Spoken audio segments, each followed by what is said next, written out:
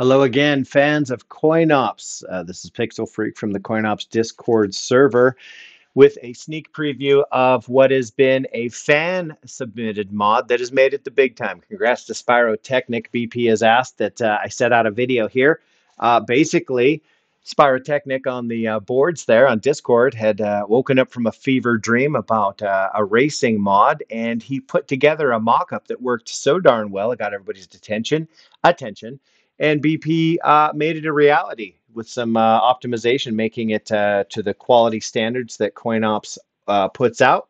Understand now that there is a version called CoinOps Legends Racer. You can get it in the regular place. Join the Discord server, read the FAQ, pay attention, help out, be cool, man, and everybody will help you out. All right, so if you want to understand how all this works, of course, there's the executable. Let's take a quick look under the hood before we fire it off because it is absolutely gorgeous. Advanced configs, BP included some of the most basic. This is a small build, so you just need to know, hey, can I dim uh, attract mode if I'm using it? Sure. Can I have it long hold if I'm using it, or can I turn it off? Sure.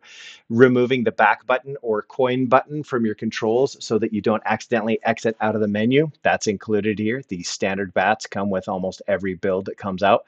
Shutdown button, disable. If you want to have uh, the shutdown button in your games, let's say you're running a cabinet and you don't want to whip out the keyboard all the time, you can enable it either just to back to the desktop, or my favorite in cab- cabinet mode is if you uh, use the shutdown button, it'll shut down your entire cabinet. Basically, it shuts down uh, the OS, which in most uh, current PCs, if unless you're using Super Potato, uh, it's going to shut down the PC as well. Zero delay encoder. If you're having control uh, issues because you have a generic or zero delay encoder and you're getting the double skip or the double button press, etc., run this so that it will uh, prevent that from happening. It only applies to zero day or zero delay or generic.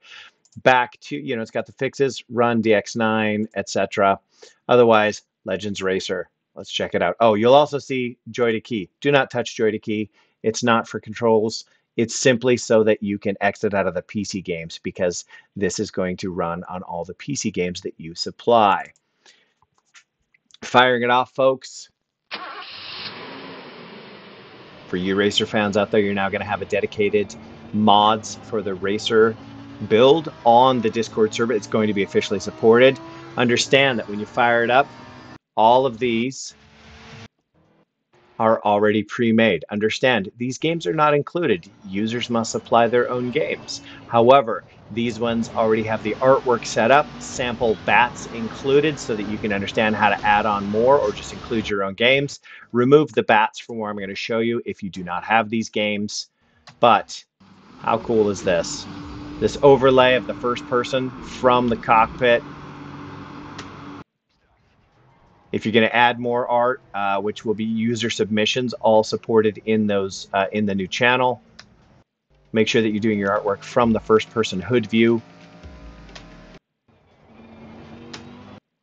Absolutely gorgeous. Full size 1080p videos.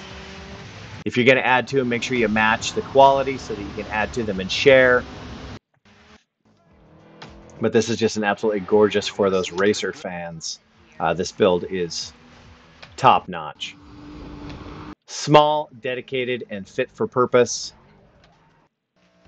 All right, now for those of you that want to understand, you're going to have your games installed on your PC, but to make sure that this build sees them, you're going to make sure that in collections, PC Gamer, and in the ROMs, you're going to see the bats, okay?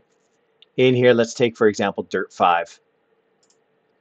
Go in there and you'll see, all right, it is set up to be able to pull that game from your installation.